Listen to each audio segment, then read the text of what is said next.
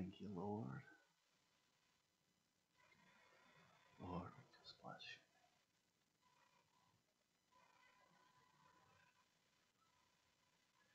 Good morning, everybody. We want to welcome you to the Sunday morning service at the Refuge Church in Loves Park, Illinois, in the month of May 2020. We're just excited that you're here and that you're going to spend this time with us this morning. In the midst of everything that's going on and pandemic and epidemic, we're just praying today that you find a refuge in the service today as you find a refuge in the Lord Jesus, who is our rock of refuge. Uh, this morning, we're very, very excited because we have Rosie with us, and she's going to be leading us in live praise and worship this morning. So, uh, Rosie is a, a, daughter here in the house at the refuge, and we love her, and uh, she's going to lead us today. So, I want to encourage you during praise and worship to come up next to the TV or the phone or whatever it is that you're using for broadcast and just enjoy the Lord this morning as she leads us in praise and worship. Uh, then, as we get into the Word today, I really believe God's going to bless you in a message out of the book of Nehemiah that I believe is going to inspire you and get you excited about what God's going to do.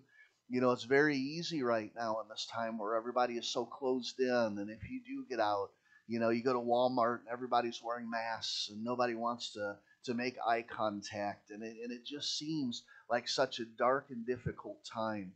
In the midst of this, I want you not to forget, please, that God wants to use this time to get you into the secret place and draw you near to his presence.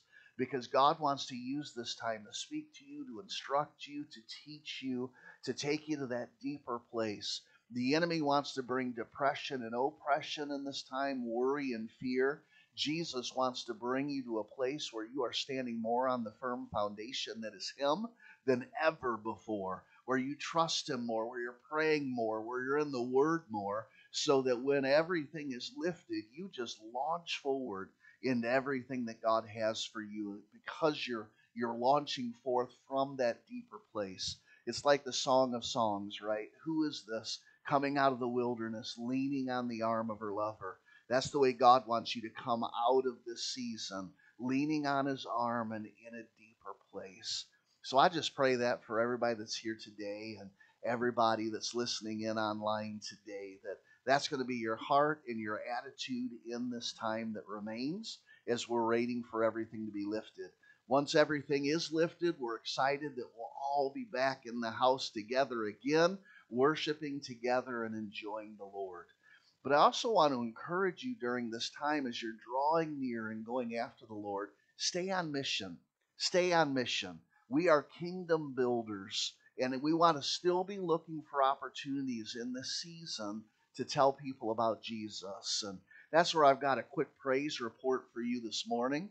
Uh, Wednesday afternoon, I was coming into our neighborhood after work and I saw a young man going door to door and selling things.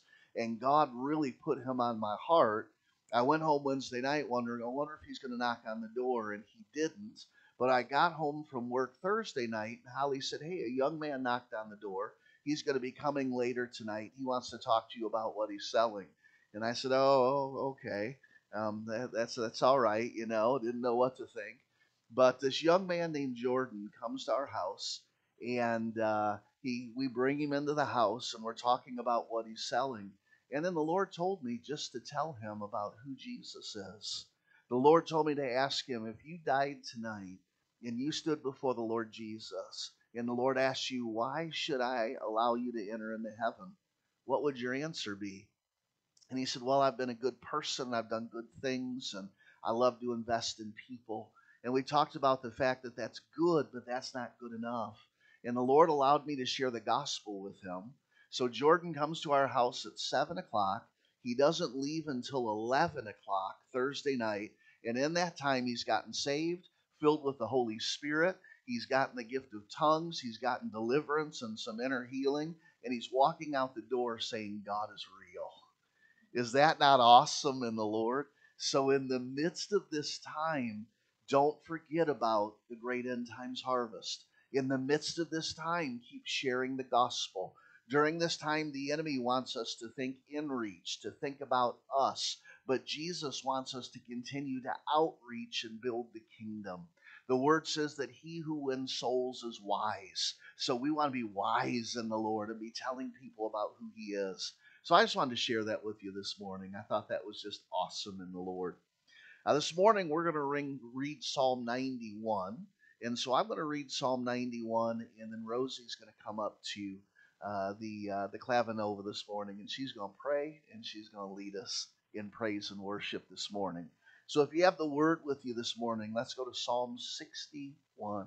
Hallelujah. Shiria baba shodia baba karia bashi. Hallelujah. The word says in Psalm 61 Hear my cry, O God, and listen to my prayer. From the ends of the earth I call to you. As I, I call, as my heart grows faint, lead me to the rock that is higher than I.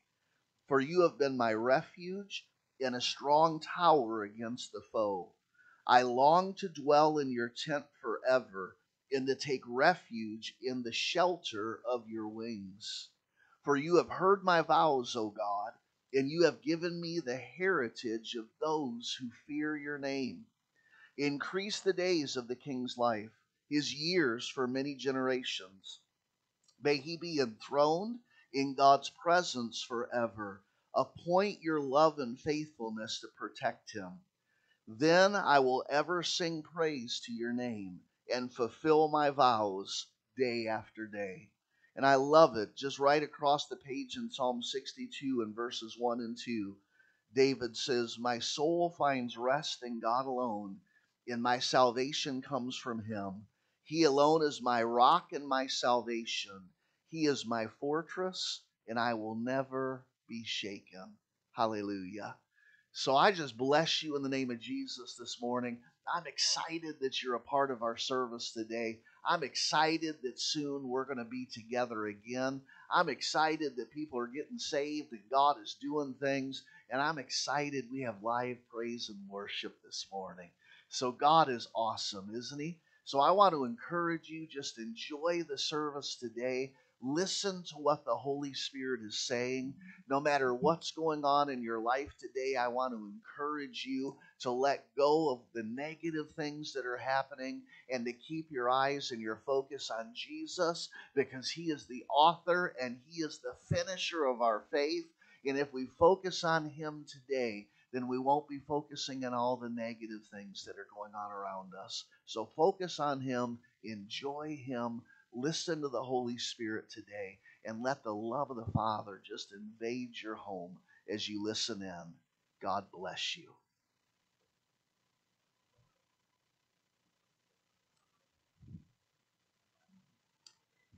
So, Father God, I pray for this time that yes. we're going through right now, God. God, I pray that this is not only a time of growth, but a time where our faith is really being tested, God. God, I pray that for wh- whoever is going through what they're going through right now with this pandemic, God, God, I pray that you heal them in Jesus' name. God, in Jesus' name, I pray that the doors of the church will start to open and this COVID 19 will go away quickly, God, in Jesus' name. God, I pray that you protect us through this hard time and this time of hardship, God. In Jesus' name, protect us. Amen.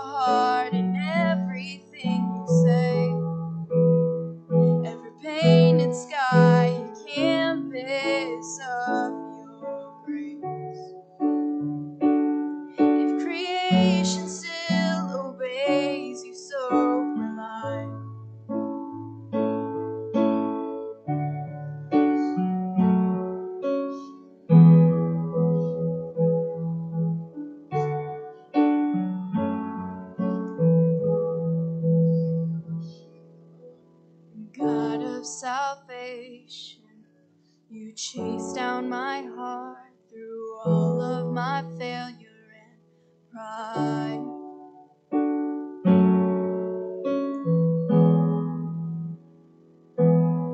And on a hill you created, light of the world, abandoned in darkness to die.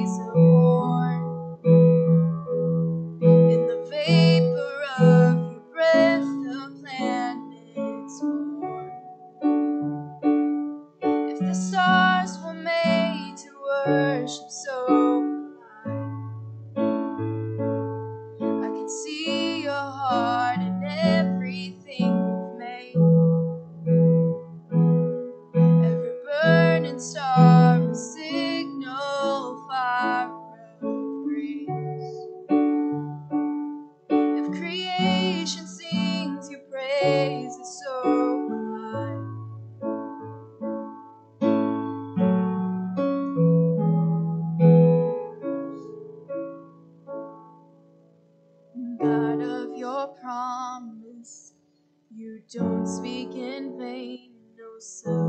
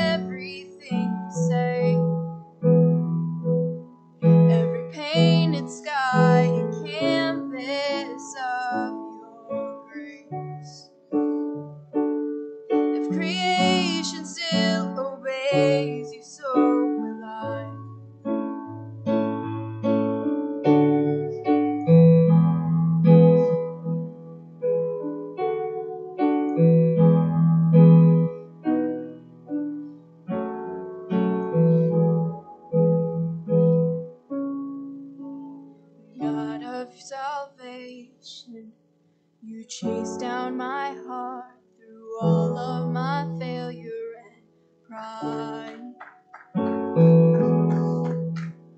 On a hill you created the light of the world, abandoned in darkness to die.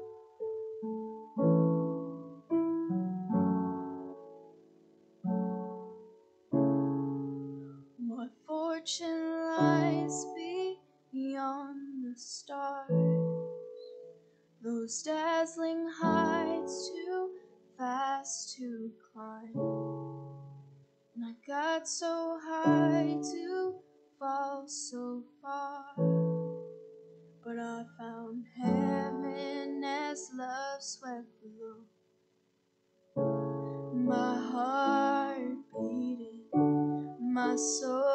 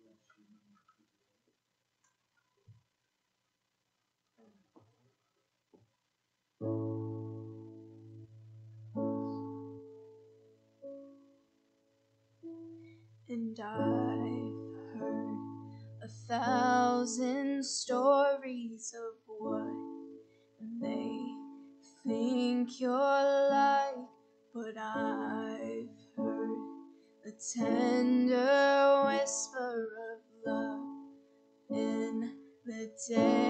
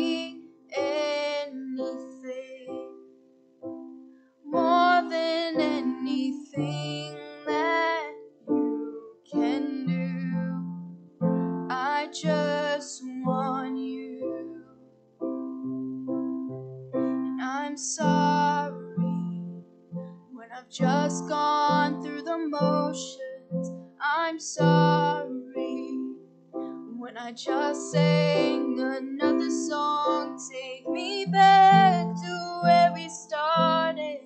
I open up my heart to you. And I'm sorry when I've come with my agenda. I'm sorry forgot that you're enough. Take me back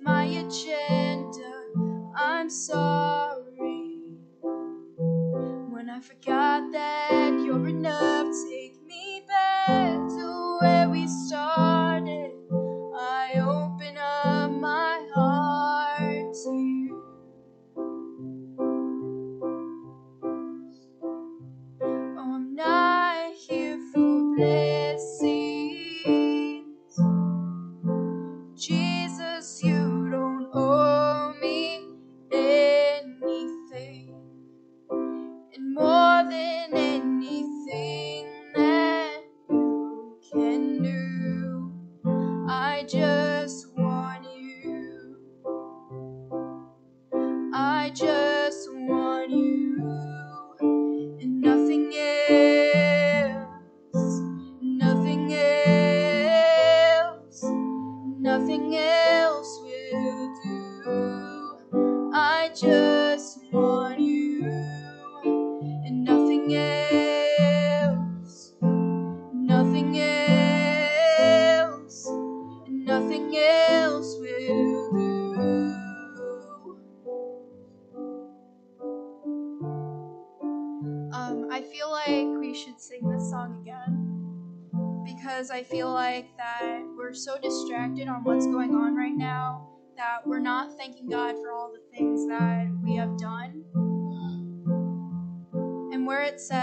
um, I'm sorry, um, I've come with my agenda.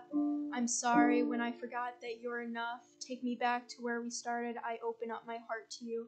I feel like this is a time and place where we need to open our hearts and give our time to God, the time that we were unable to give before this pandemic started. So we're going to start that song again.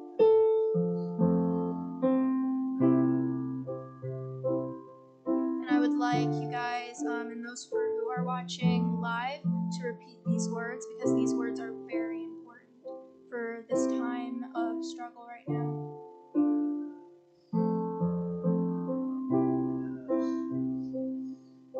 I'm caught up in your presence.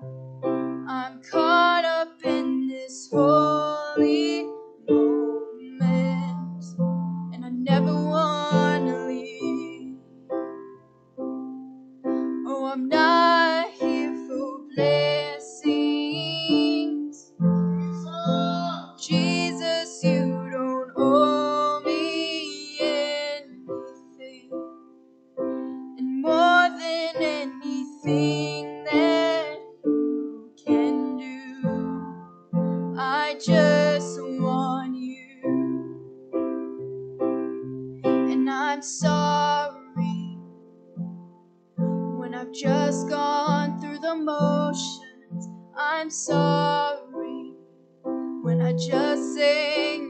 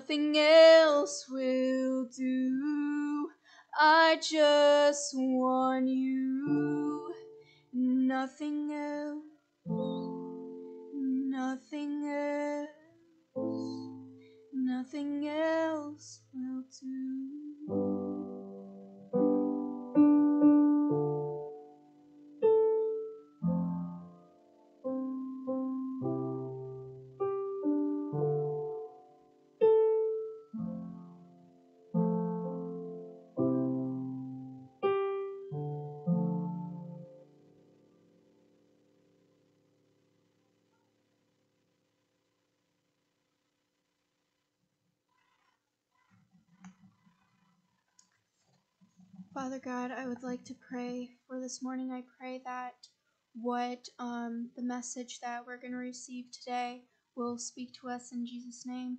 God, that I pray that we won't stand in this um, difficult time in fear, but in faith and with strength that you've given us, God.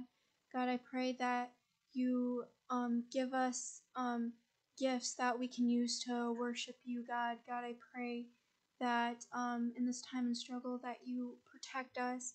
I know it's scary, God, um, but I just pray that everyone will not be afraid, but be strong and stand in this, um, knowing that um, it is done, that we will see church doors open, that we will see schools open, that we will be able to open our homes to friends and family again, God. God, in Jesus' name, protect us, and we love you in Jesus' name. Amen.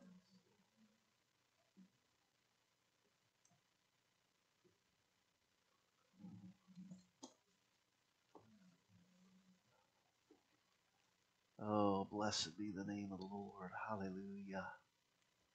Let's just take a few moments and be still and know that He is God. Hallelujah.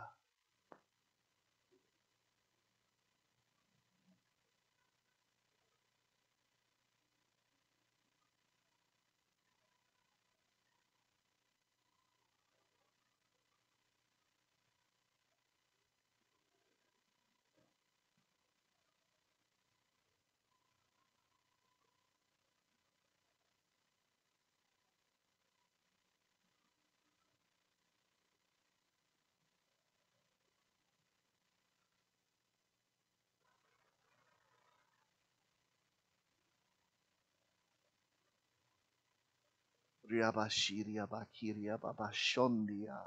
Hiria shoria bakiria bashi. Hiria bashiria bakiria bahoria bashi. Horia bashiria bakiria bashi. Shiria bakiria bahoria bashandia baki. Horia bashiria baki. Lord Jesus, I thank you that I hear you saying this morning, Behold, I'm coming soon. Behold, I'm coming soon. Behold, I'm coming soon, says the Lord. Make yourself ready. Make yourself ready. Make yourself ready. Surrender to me in this hour, says the Lord. Surrender to me in this moment, says the Lord. Surrender to me in this season of your life, says the Lord. He says, Call unto me in this season, and I will answer you, and I will show you great and mighty things. He says, Come unto me in this season, for my yoke is easy and my burden is light. The Lord, Lord is saying in this season, my arms are open and I'm calling you to me. I'm calling you to me. I'm calling you to me. I'm gathering my sheep in this season, says the Lord for I am coming back soon. Lord, I thank you that I hear you saying that, Lord, you want us to make every decision from this point forward based upon a heart that's listening to what the Spirit of God is saying and yielded in surrender to you. Lord, I thank you that I hear you saying that as things begin to open up, Lord, Lord, as we go through these phases of reopening in the state of Illinois that our governor, our governor, Lord, has ordained.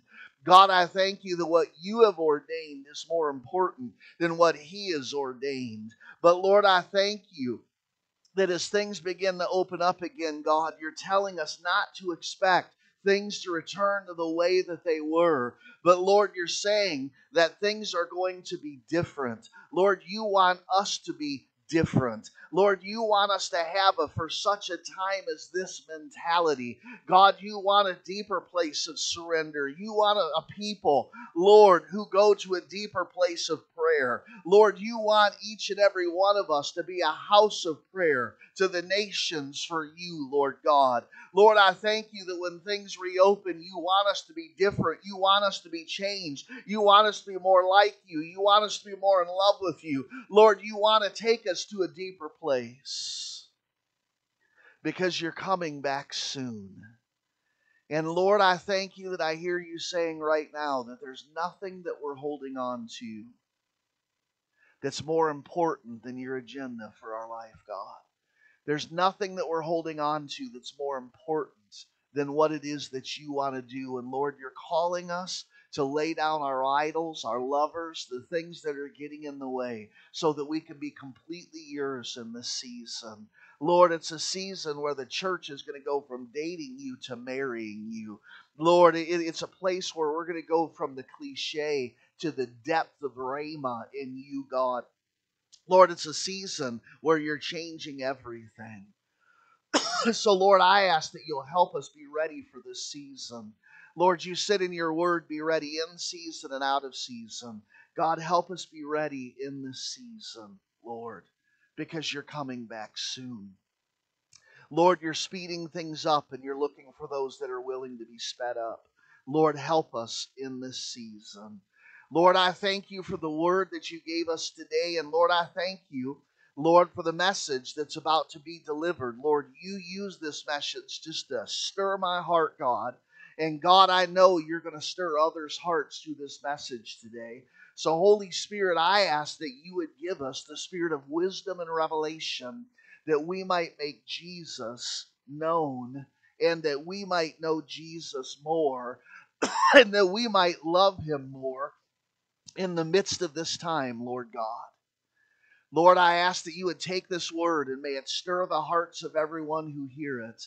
And Lord, may it bring forth, God, a greater devotion, a greater hunger, a greater focus in our life, Lord God, in the midst of this time. So, Lord Jesus, we love you. We give this time to you. We bless your holy name. And Lord, open up our hearts now to receive this word. And we ask this in the name of Jesus through the power of the Holy Spirit. And everybody said, Amen. Hallelujah. Bless the name of the Lord. Well, I hope that you're excited about the Lord this morning.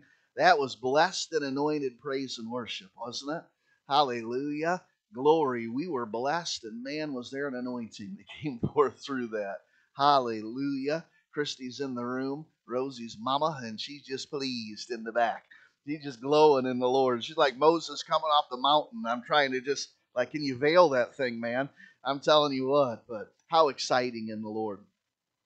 So this morning, I want to encourage you not to let anything discourage you as you're about to listen to this word, because this is a word that's really going to direct you in the midst of this season that we're in. And as I said at the beginning of the message, I really believe that in a season where God has wanted to take his people deeper, to show us more, to reveal more to us, to get us ready to be launched even stronger as the curtains begin to lift and, and everything begins to be opened up again. How many know that when God moves, so does the enemy? So the enemy's purpose for this season has been to bring depression and oppression. How many folks have been just stranded in their homes for weeks now? How many elderly folks have not been able to have their relatives come to them? How many people have been in the hospital and their family members haven't been able to come? It's been a, a real dark work of the enemy. But how many know that Daniel said, But the people who know their God, even in the midst of the darkness and the difficulty, they're going to do mighty exploits. So I believe in this season, God is setting you up for mighty exploits. Do you receive that today? Amen. If you receive that today, I want you to go to the book of Nehemiah. The book of Nehemiah. And there's just a word that, that I want to share with you this morning that uh, somebody had said, Hey, I want you to listen to something. And it was a message that the guy was preaching. And God began, began to really speak to me in the message that he was speaking and began to give me some real direction for what we need to be doing in the midst of this season and what we need to understand God's doing in the midst of this season. So that's what you're going to get this morning. And, and the title of this message is How to Thrive in the Midst of the Process. How to Thrive in the Midst of the Process. And right now, the process is COVID 19 for every one of us. But how many know once we get out of COVID 19, there's going to be other processes? there's going to be other seasons that God's going to take us through. This is not your final season, this is just a season. And I want to remind you of that in the Lord today. So today we're going to talk about how to thrive in the midst of the process, how to learn how to thrive in every season, including COVID 19. Can I hear an amen? Now, today we're going to start in Nehemiah chapter 2, and we're going to start in verse 1. And we're going to take a look at, a glimpse at, an individual in the Word who's very, very unique. And his name is Nehemiah. And Nehemiah was in a place of being in captivity. Uh, the, uh, the captivity had gone on that had been prophesied about by the prophets throughout the Old Testament. Now God's judgment has come, and God's people are in captivity. And we have this gentleman by the name of Nehemiah, and he is a Jew. His family's from Jerusalem, and he finds himself in a place where in captivity he's been favored and he's the cupbearer of the king. Now, the cupbearer had a very interesting job. They were to sample the wine or the drink before the king drank of it, so that if any poison was in the drink, the cupbearer would die first before the king. That was his job. What a job description. Can you imagine? Here's the one line job description. You will taste the wine before the king, comma, and die in his place if it is poisoned. That was his job. So he was doing his job, and he was doing his job with everything that he had. He was doing as, as unto the Lord, the word would indicate to us. But all of a sudden, in the midst of him doing what he was supposed to be doing, God began to move on his heart.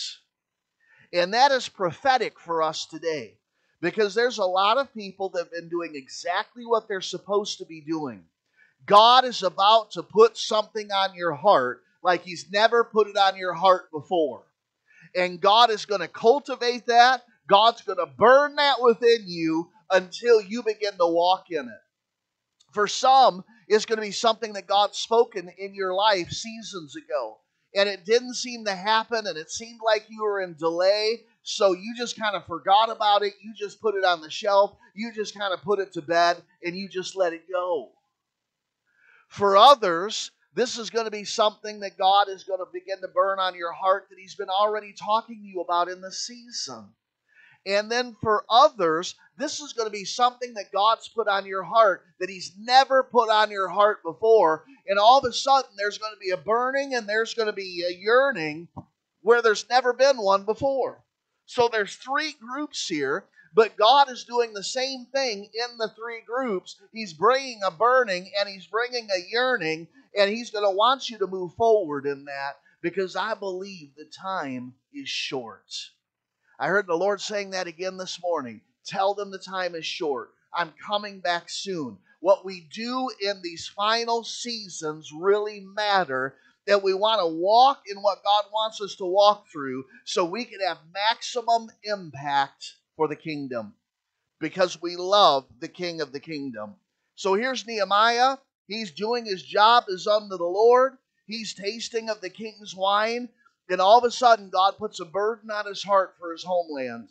God puts a burden on his heart for Jerusalem.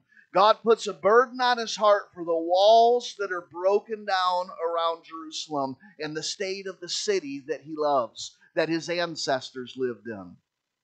Now it's interesting when the invading forces came through, they tore down the walls around Jerusalem. Walls are very prophetic if we look at what walls are. They're very, very prophetic. They symbolize protection, they symbolize safety, they keep the enemy out. Come on now. They bring a sense of peace. We've got to understand this. So, isn't it interesting that the enemy had the walls torn down? And because the walls were torn down, the people were living in fear. The people were living in worry. They were living in doubt. They were subject to their enemy. Anybody who wanted to could wander in and out of the city at any time of the day or night. And because of that, they were in a place of constant fear. And that begins stirring on the heart of Nehemiah. And it gets to the point where he can't even hide it when he comes before the king. And if there's some place that he's going to want to hide it, it's before the king. because this is the king that he's in exile under. But God is moving so so powerfully in his life. He can't hide this from anybody. And that's the way God's going to move in your life in this burning, this yearning that he's about to put in you or awaken in you. Now, what I love about Nehemiah is he's not the apostle like Paul was, he's not the lover like David was, he's not the dream interpreter like Joseph was. Well, what was he? He was an administrator. God gave him an apostolic anointing of administration.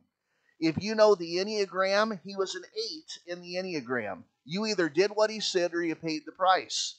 In fact, if you read through the book of Nehemiah, it gets to the point where he, he realizes that those inside the city have married foreign women, And so uh, the way he handles it is he starts beating people up and pulling their hair out.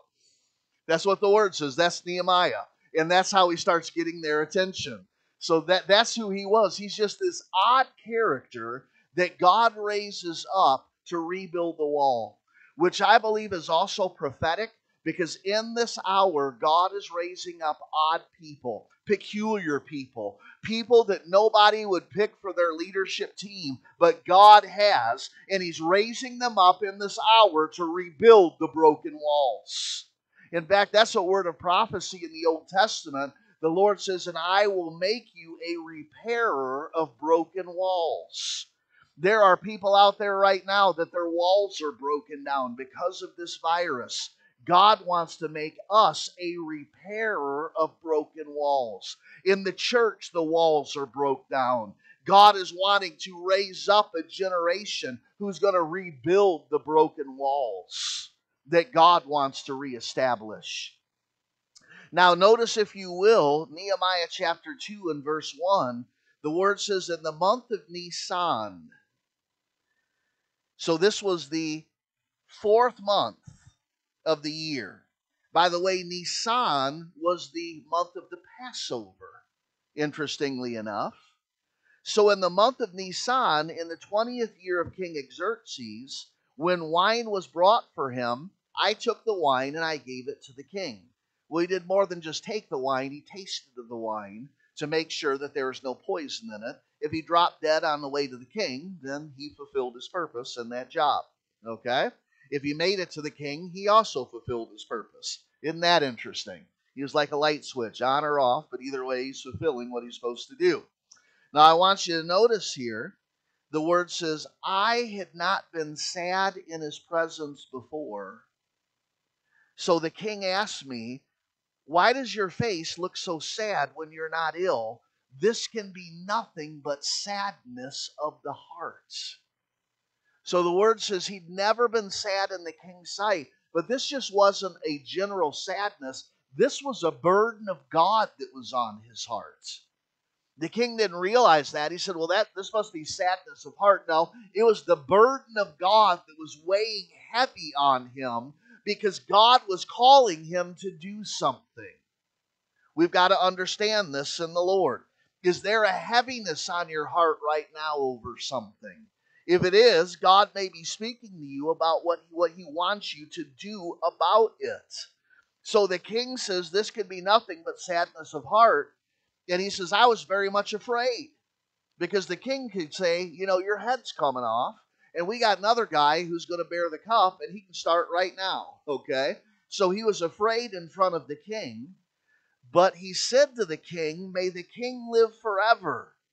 Why should my face not look sad when the city where my fathers are buried lies in ruins and its gates have been destroyed by fire? So, isn't this interesting? He has two burdens for the city. He's burdened over the broken down walls, and he's burdened over the gates that are non existent. Isn't that interesting? Walls keep things out gates allow things to come in and out, interestingly enough.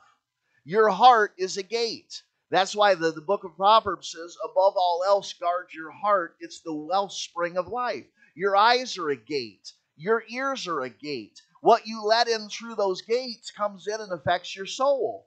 So Jerusalem was in an unprotected state where not only were the walls torn down, there were no gates left any longer so they couldn't control or protect anything. Isn't that interesting? Verse 4, the word says, The king said to me, Well, what is it that you want? Then I prayed to the God of heaven, or I prayed to Jehovah, and I answered the king, If it pleases the king, and if your servant has found favor in his sight, let me let you send me to the city in Judah where my fathers are buried so that I can rebuild it. Now, this is interesting. He's asking the king if he can rebuild a city and rebuild its walls and gates, a city that's been conquered by that king's kingdom. Something that necessarily wouldn't be on the heart of the king, but because it mattered to Nehemiah, and because Nehemiah had served the king so well and walked in the favor of God in the sight of the king, what normally wouldn't have mattered to the king, notice the response. See, things happen when you walk in the favor of the king. And in this season, if you will listen to the burden that God is putting on your heart and begin to ask God to open up doors, He's going to cover you with a supernatural favor. And those that you need to go to to get things from are going to say yes. So the word says in verse 6 Then the king, with the queen sitting beside him, asked me, How long will your journey take? He didn't even say yes or no. He just says, okay, how long is it going to be? How long is it going to be? He didn't even question. Notice the question he asked. He says, How long will your journey take? Number one. And number two, when will you get back? And it pleased the king to send me, so I set a time. Isn't that interesting? I also said to him, If it pleases the king, May I have letters to the governors of the Trans Euphrates, so that they will provide me safe conduct until I arrive at Judah. And then he goes on to say, and by the way, can I have a letter to the keeper of the royal forest so that I can have beams and wood to work with? By the way, King, can you set it up so I have the food that I'm going to need for this process? By the way, can you set it up so I can have the finances I'm going to need for this? What we find here was Nehemiah had nothing that he could offer for the burden that God gave him except his yes. That's all that he could offer. He didn't have the resources, he didn't have the ability to let himself go. Come on now. He didn't have anything, but when he surrendered and said yes to God, God supernaturally covered him with favor, so the king that he worked for was willing to give him anything that he needed. How many know that we have a king that if we'll surrender to him and say yes, will give us everything that we need to fulfill the burden he's put on our hearts? Can I hear an amen? Do you receive that in the Lord right now? Is anybody excited about the Lord? Amen. So, what do we see about Nehemiah? We see that he's called by God to rebuild the walls and the gates around Jerusalem. So it's interesting that he leaves to go to Jerusalem. And when he gets there, if you read the word, he doesn't tell anybody why he's there. He doesn't talk to the leaders. He doesn't go and call a, a visioneering meeting with the, the leaders of the city. What he does is he goes in, he gets a place to stay, and then at night he goes around the city to find out what state of disrepair the city is in. They don't know why he's there. They don't know what he's doing. But what he's doing is he doesn't want man as man's assessment of what's going on. He wants God's assessment. And what he found was the people that were left in Jerusalem, they were capable. There were priests and there were leaders and there were folks that had their homes there. There were folks that were working in the agricultural community outside the city. There was still trade going on in the city. All of that was going on, but it was going on while the walls were broken down and the gates were built with fire or burned with fire. So, what does that mean? They were trying to continue to do everything they'd done before, but they were doing it without safety and protection and covering. They were doing it in fear and these people where anyone was capable to have picked up a stone and start rebuilding the walls, no one was doing it. They were allowing things to stay the way that it was when any of them could have started rebuilding the wall. So God had to raise up a man who was countries away in captivity and put it on his heart to rebuild the walls and the gate and to send him to a place to get folks to fired up. He had a leadership anointing to get people to do what they could have done on their own, but they weren't doing. Woo! Somebody look at the prophetic insight into that message.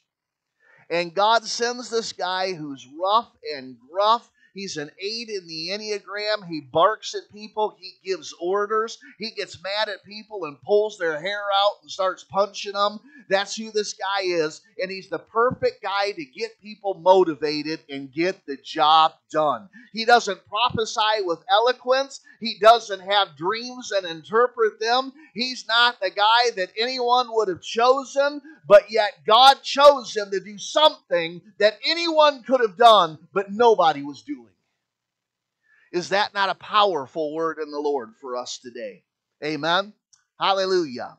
Now it's interesting that Nehemiah's name means the Lord comforts. The Lord comforts. And he has a powerful call from God on his life to do something in his generation for the city that God loves. It was something that only Nehemiah was going to be able to do. Do you know there's a call on your life in the season that only you can do? Only you can do. God's given you the specific anointing that's like the key that will go into the lock and turn it and open it up in this generation. Yes, there's other keys. Yes, they may look similar to yours, but you've got the only key that fits the lock that opens up the door of destiny that God has for your life. And how many know we have to walk in that in the Lord? Don't hold your key in your pocket. Don't be like the one who the master gave the talents to and he buried the talent. Hallelujah. In this season, we've got to begin using what God has for us for the benefit of his kingdom and the growth of his kingdom. Can I hear an amen? Now, as I study the word, and I love the word, God has me read through the word every two to three years. Hallelujah. this year, He's got me on a track where I'm going to be through the word in a year and a half. So I'm really excited about it. I'm reading the Hebrew interlinear version of the word. It is so good. I'm getting the word in the original Hebrew in the Old Testament, the Greek and Aramaic in the New. It is incredible. Some of the revelations that God's been speaking to me in His Word. How many love the Lord this morning? Amen. But as I study the Word and I look at the people who really appear that God used them to fulfill His purpose in their generation, the Davids and the Josephs and the Joshuas and the John the Baptists and, and the John the Beloveds and the Pauls and all these folks, I see something in their life that they all have in common. And what they had in common is their ability to thrive in every season that God placed them in.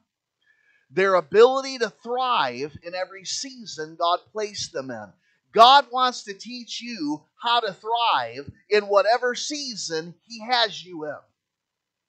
The problem is, most of us really like the season we're in, and we want to stay there, and we don't want to transition through it into the next season, or we don't like the season we're in, and we want to rush through it and skip steps so we can get to the next season. How many know God doesn't want you to do either of those two things? God wants you to embrace the season He's placed you in and learn to thrive in that season. This is a word from the Lord for you. That's what God wants. You mean in this COVID 19 season, God wants to teach me how to thrive? You bet He does. You bet He does.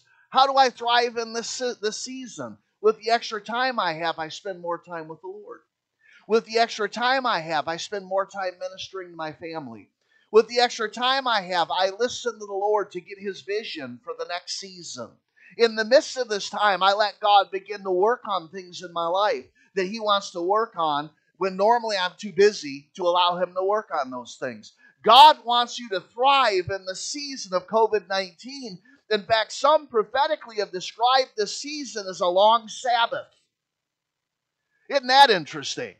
what some are looking at in, in the church and going, pandemic, and my rights are being taken, and this is horrible, and there's nothing good that can come out of it. It's dark. Jesus, save us. Repeal this whole thing. Jesus is going, wait a minute, thrive in this season. Thrive in this season. And guess what? The entire church right now is in the season. Some will thrive, some will kick and buck against the goats and try to get out of it. Some will just go into depression and isolate. I mean, there's a lot of different reactions to this, but God says, I want you to thrive in every season of your life. How many receive that in the Lord? So the Lord started speaking this, and, and, and I thought immediately, okay, what is the season? What, what is a season? I'm using this word, but do we all understand what a season is? Do I understand what a season is? So in my study area, when I'm spending time with the Lord, I've got a Webster's College Dictionary there. And I love to pull it out and take a look at it. Are you ready for this? How many know Noah Webster knew the Lord? Noah Webster, who wrote Webster's Dictionary, was a believer. And there are times when I will look up the definition of something in his dictionary and be blown away because there's Rhema within his definitions because he knew the Lord. Can I hear an amen? Do you know how he defines a season? Oh, get ready for this.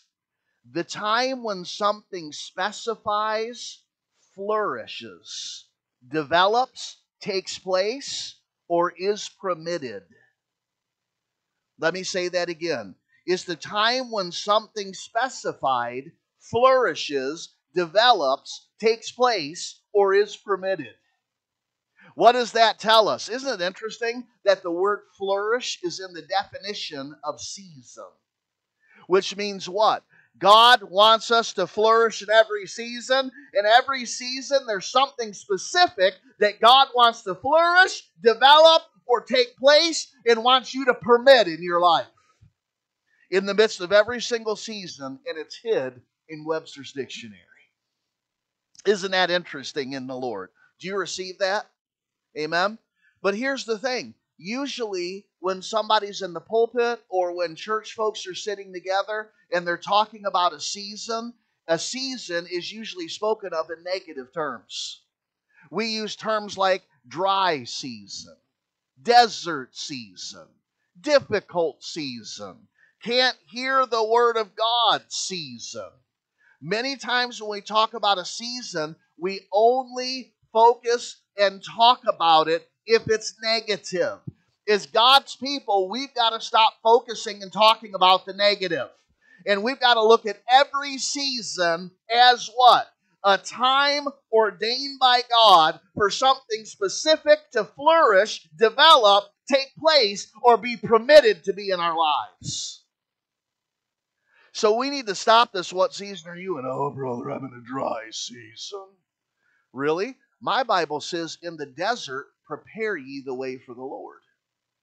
That's what my Bible says. So we've got to stop looking at seasons as negative and realize every single season of your life that you've been in, you are in, and will be in, they're ordained by God for something specific to take place in your life. We've got to realize that as God's people and stop trying to stay in the seasons we like and get the heck out of the seasons that we don't. If we'd have the, the heart to flourish in every season, we could actually enjoy every single season that God has us in. Come on now. Seasons are ordained by God. That's what Solomon said. Can I hear an amen? Do you receive that in the Lord? Amen. So I'm convinced that to accomplish all that God has for us, we've got to let the Holy Spirit teach us how to thrive in every season of our lives. So if you're sitting there and you've been asking, well, Pastor, how do I learn how to thrive in a season? We've got to let the Holy Spirit teach us. We can only let the Holy Spirit teach us if we enter into a season with the revelation it's ordained by God. How many know God saw COVID 19 coming? Because God saw COVID 19 coming, He had a plan in the season to take you deeper in this season. He had a plan to show you more in this season. He had a plan to shut down the busyness of your life that you're confusing with accomplishment for God and get you to a place where you would finally be still and know that He is God. But the only way we learn to flourish in a season is through the Holy Spirit. And we've got to ask the Holy Spirit, what are you trying to teach me in this season? What are you trying to show me in this season? What are you doing in my life in this season? And when the Holy Spirit speaks, we've got to embrace what Holy Ghost says. Because we know God does everything for a purpose in our lives. Do you receive that in the Lord? Even the things that seem negative, God is the ultimate recycler. He takes everything in your life and He uses it for the sake of the kingdom. Are you willing to receive that? And by the way, in the midst of it, He's giving you a testimony. And the word says in the book of Revelation, and they overcame the enemy through the blood of the Lamb and the power of the testimony. God's giving you an overcoming, demon busting, devil discouraging testimony through all these seasons that you're going through. Stop trying to get out of them. Can I hear an amen? Hallelujah. It's getting awful quiet in the house. Now, I'm going to ask Pastor Cindy to put up Philippians chapter 4 and verse 11 for us. Those at home, you probably like the fact that Pastor Cindy will put up the, the verses for you. Isn't she a blessing from the Lord? Amen. She is a gift from God. Rosie's a gift from God. You're a gift from God. Paul taught us to flourish in every season. Philippians 4:11 is a verse that points that out. Notice what the word says. I'm not saying this because I'm in need, for I have learned to be content whatever the circumstances. Can I hear an amen? Do you receive that in the Lord? Cindy knew exactly where I was going. Pulls up the Amplified. I'm not saying this because I'm in need. Hallelujah. Any personal need, for I've learned to be content and self sufficient through Christ, satisfied to the point that I'm not disturbed or uneasy, regardless of my circumstances. That's Paul's way of saying flourish in every season. He says, I've learned no matter what the season is in my life, whether I'm hungry, I can thrive.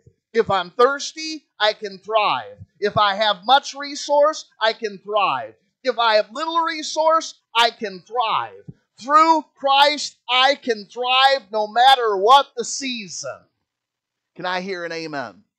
What would happen if we would begin to believe that in our own lives?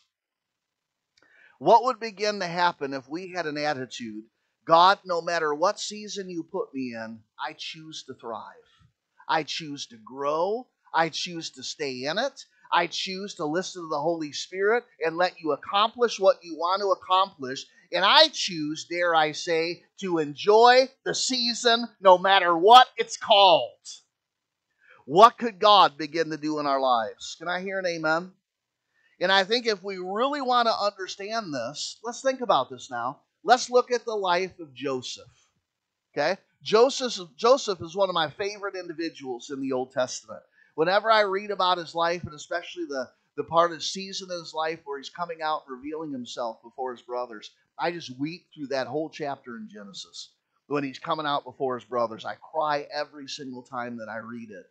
I love his life because I believe his life is a prophetic picture for us of what it's going to be like in the end times. Now, Joseph's name is prophetic. It means Jehovah adds or increases.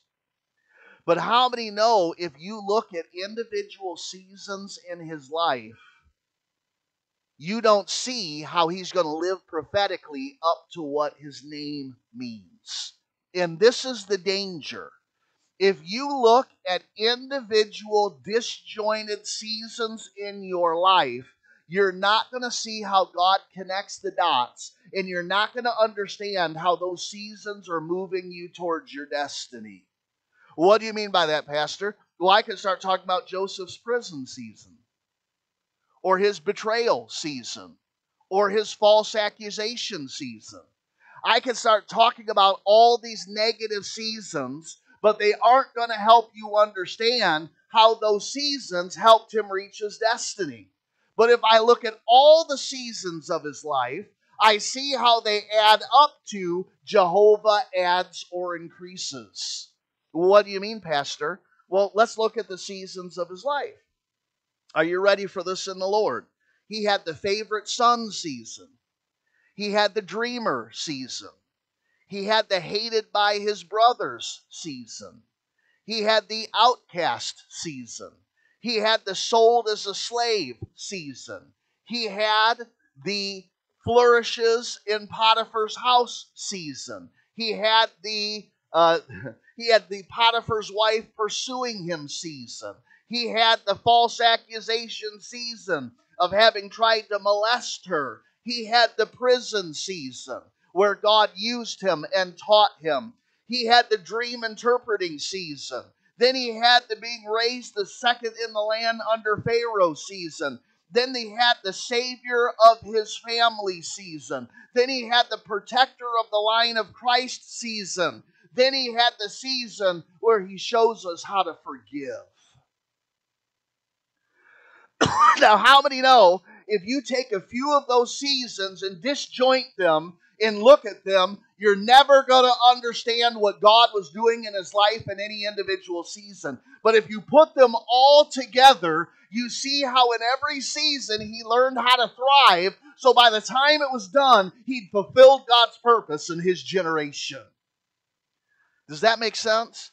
I mean, look at him. He said, "I'm going to I'm going to thrive in no matter what season God has me in." And he brings Potiphar's house to the place where it is flourishing. Then Potiphar's wife wants to get a hold of him.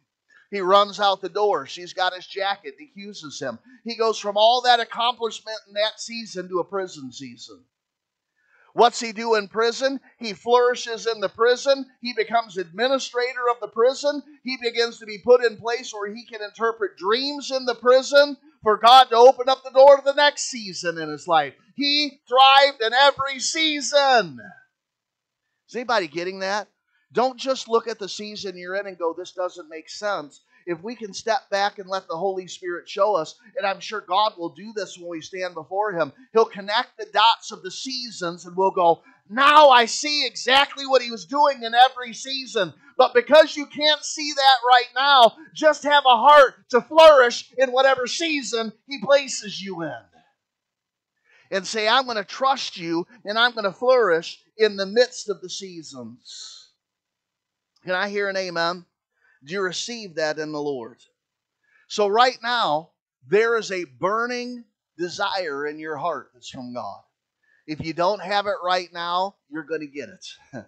Maybe it's to evangelize the nations. Maybe it's to preach around the world. Maybe it's to see the Rock River Valley healed and restored. Maybe it's to see your church flourish. Maybe it's to have an incredible ministry to the Lord and to his people. You know what that is. I'm convinced if you want to see that truly happen in your life and come forth, you're going to have to learn how to thrive in every season. That's how you're going to get to that place. My Bible says the one who's begun the good work in you is faithful to see it through to completion. And I think we sometimes we think God gives us the calling, the burning, the passion, the destiny, and God just releases us right into it. He's not a microwave God. Never has been, never will be. See, He gives you the vision, the call, the destiny, and then He takes you see, through seasons to grow you into being ready to do that. If He gave us the vision, the calling, the passion, and released us right into it, we wouldn't be ready for it. We'd mess it up every single time. So God is taking you through the season to grow you, mature you, and teach you so that you can walk in that destiny that He's called you to. What does God want you to do in the midst of coronavirus? Fully engage. In every season, God is saying, fully engage. The problem is we get into a season, and immediately we don't like it, and so we start to distance ourselves from it and we start to fantasize and we start to do other things. And why, you know what I'm doing in this season? I'm just keeping busy and working hard so I can get through this season. Stop. Stop. Surrender the Holy Spirit and let the Holy Spirit do in you what Holy Spirit wants to do in this season. Thrive! Can I hear an amen? Thrive! That's what God wants to do. Be fully engaged. Don't disassociate because you don't like it. Be fully engaged in what God is doing in the season. Well, brother, you've never been through the season I'm in right now. Really? Let's have some coffee. Let's talk about this. Ministry is not easy. Let, let's talk about what you're going through. And you know what I think? If we have coffee together and talk about it, we'll find we all go through the same seasons. We all have a favorite son season, a dreamer season, a hated by our brother season, a prison season, a false accusation season, a promotion season. We all have that. It's part of your seasoning. Amen. What did the Lord say? He said, You're the salt of the earth. What is salt? It's a seasoning. You can taste something and immediately go, Ooh, it needs a little bit more salt. What, what is God doing in these seasons? He's saying, Don't become salty, become seasoned. Can I hear an amen?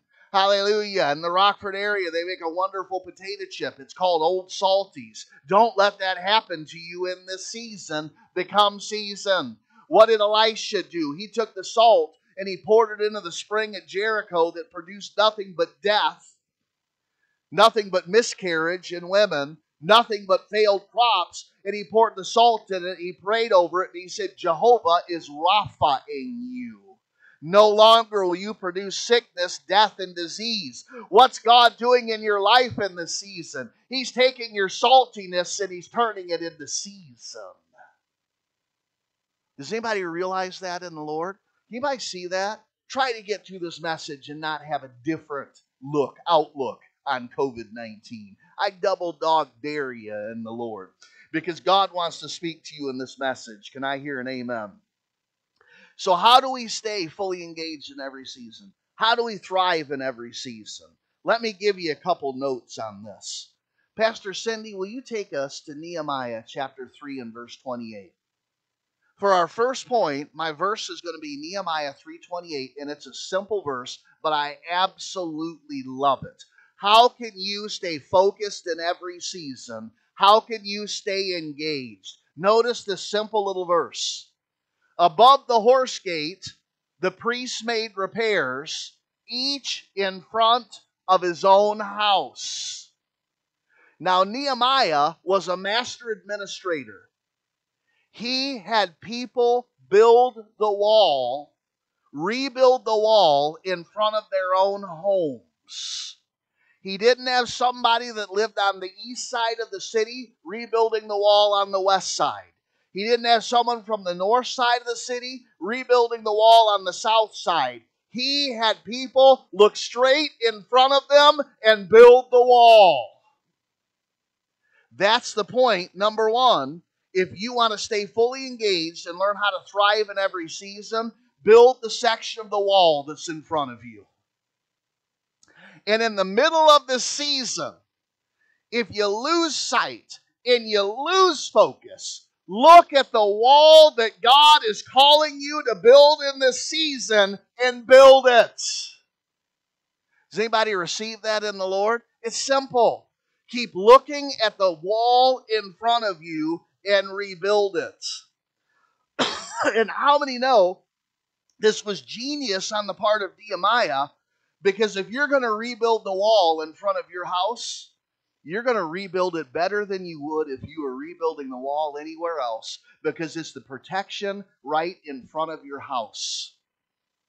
And by the way, in the prophetic and in prophetic dreams, what does a house mean? It's not only the house that you live in, it's also your ministry. It can represent your ministry. What's God saying? Your ministry has to have a wall built around it. Can I hear an amen? Has to have a wall built around it. The Lord said to Israel, I'll be the wall of fire around you and the glory within you. Can I hear an amen?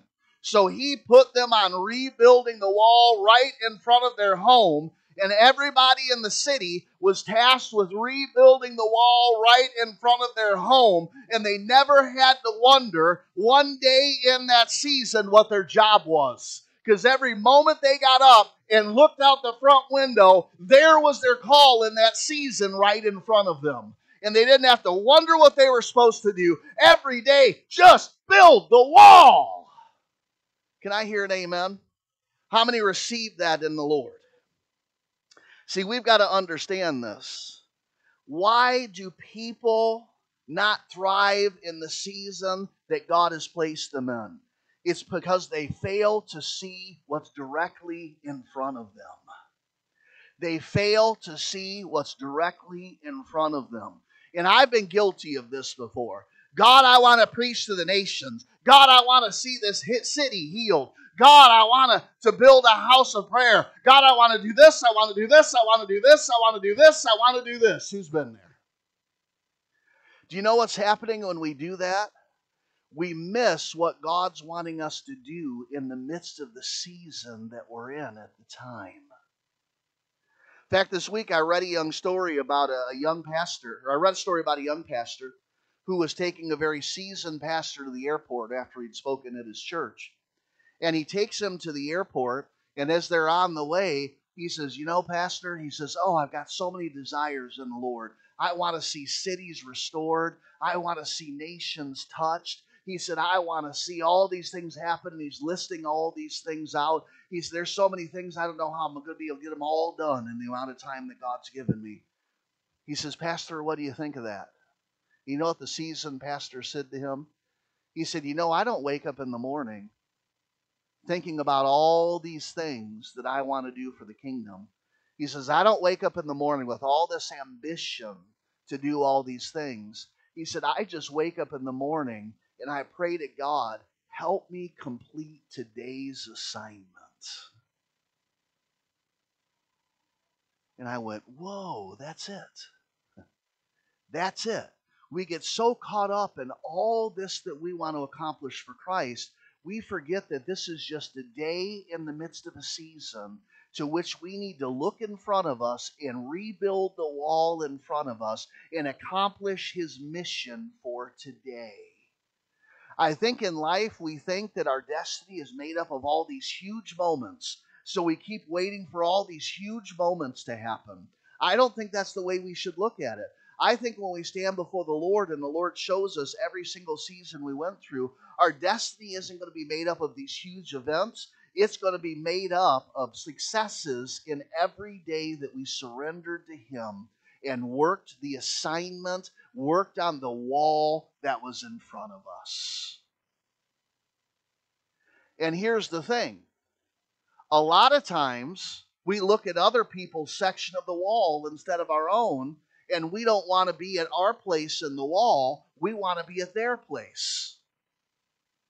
That keeps us from doing what's right in front of us.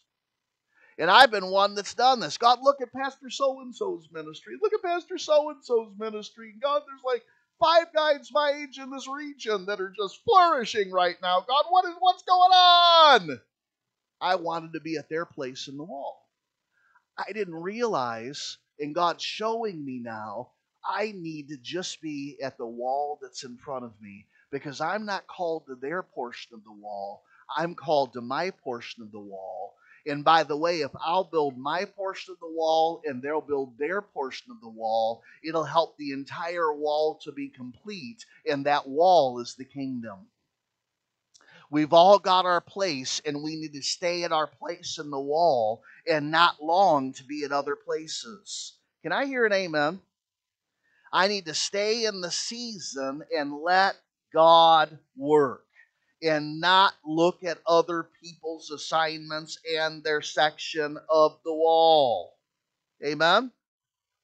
And I've got to realize in my life Seasons are a time in my life when God is really emphasizing something that He wants to work on. And I need to just love Him, stay engaged in that season, and embrace what God is doing, and everything's going to work out. Can I hear an amen? Now, you may find this shocking, but I have an issue that I run into where I, I have a lot of drive for the Lord. I want to accomplish, I want to accomplish, I want to accomplish, and I want to get things done. And God's tried to break that in me. In fact, somebody said to me once, they said, Well, Pastor Andrew, you know what your problem is? I thought, Oh boy, here we go. Your problem is you're driven.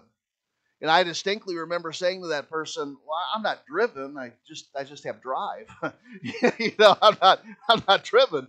You know, and, and what God's had to do over the years is to teach me it's not about me doing, doing, doing, doing, doing, doing, doing, because I'm not created as a human doing. I'm created by God as a human being. And God wants me to stay in the state of being And when I stay in the state of being, I'm right in the middle of the season that He has me in, right when He wants me in it. Does that make sense? Hallelujah. And more than once, God has said to me, He said, Andrew, you're the student and not the teacher. You don't get to pick the subject matter. Hallelujah. Well, Lord, I want to be in this season. I want to be learning this right now, and I want to be flowing in this right now. Andrew, you're not the instructor. You are the student. You do not get to pick the subject matter. You do not get to pick the core curriculum. You do not get to pick when you take the class. You'll take it when I tell you to. And if you don't surrender to the class in the season in which I want to bring it, then you will take it again. And it will be harder the next time. How many know we do that with God? Well, God, I don't like this season. I want this season over here. Well, how many know God doesn't have you in the season over there? He has you in the season over here. Well, God, I don't like the view from the wall that I'm building here. I like the view that Rosie has over there. I mean, it's looking pretty good. Well, you know what? I can't go build Rosie's part of the wall any more than she can go and rebuild my part of the wall. I've got to learn what I'm learning in this season at my section of the wall while she's learning what she's learning at her season in the section of the wall. Does that make sense? Hallelujah. Now, sometimes at different sections of the wall, we're certain we're learning the same lesson. Right now, we're all learning much of the same lesson, but we've got to understand this in the Lord. Now, I want to say something to you here that I think is going to really drive this whole point home to some people. Okay?